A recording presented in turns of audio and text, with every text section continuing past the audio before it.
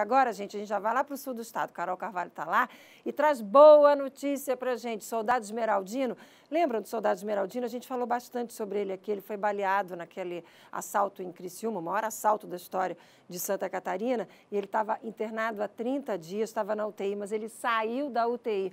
Oi, Carol, que boa notícia para a gente começar essa segunda-feira, hein? Bom dia.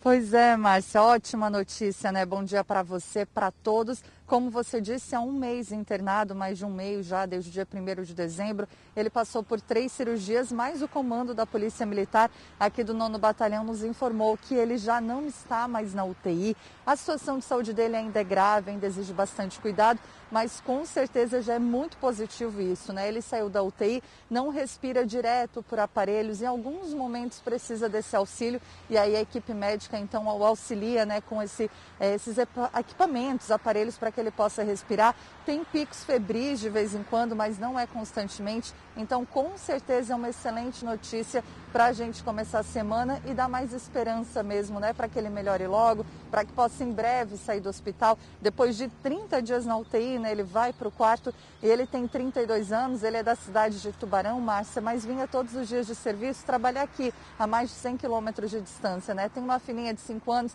então tem muita gente torcendo por ele, tem a família, os amigos, os colegas de profissão e toda uma corrente positiva aí, né? Para que ele saia o mais breve possível do hospital. Mas é uma excelente notícia. Isso aconteceu nessas últimas horas, né? O comando da polícia nos informou durante a noite que ele já saiu da UTI, então não está mais nessa situação tão crítica. Segue, claro, exigindo aí cuidados, atenção e a gente segue com os pedidos e orações para que ele melhore o mais rápido possível, né, Márcia? Energia positiva nunca é demais. A gente continua aqui com certeza mentalizando para que ele se recupere o quanto antes. E aí, Carol, vamos convidá-lo para uma entrevista. Assim que ele puder falar, bater um papo. Claro, isso aí vai demorar, né, gente? Mas eu gostaria muito de conversar com ele, saber por tudo que ele passou, aquele momento no dia do assalto, essa, essa vivência aí, essa experiência, essa, essa angústia do hospital, familiares, enfim. Com certeza vai ser um bate-papo muito bacana, muito importante.